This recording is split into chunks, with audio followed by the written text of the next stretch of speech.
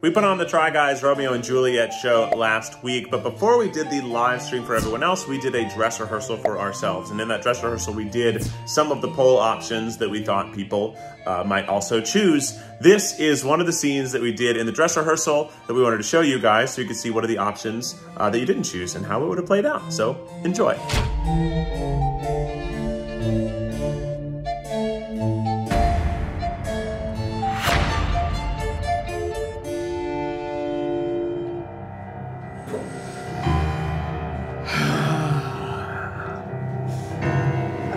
Wilt thou be gone?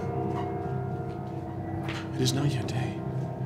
It was the nightingale and not the lark that pierced the fearful hollow of thine ear. Nightly she sings on yon pomegranate tree. Believe me, love, it was the nightingale. It was the lark. The herald of the morn, no nightingale. Look, love, what envious streaks do lace the severing clouds yonder east.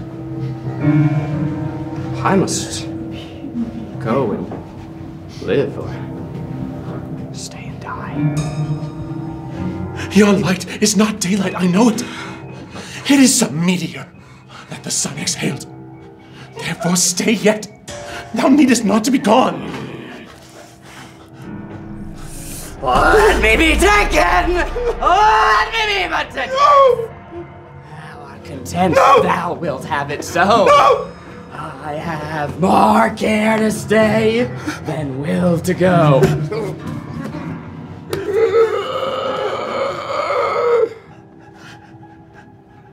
Put me to death. Julia, come death and welcome. Juliet wills it so.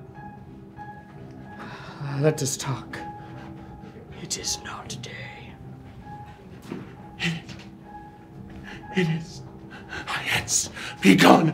Away! More light and light it grows. More light and light. More dark and dark our woe. Nurse. Tickets are still available to watch the show that we did, so check it out. I promise you, the scene that we just did is even funnier with the audience poll choice of sex positions. Bye.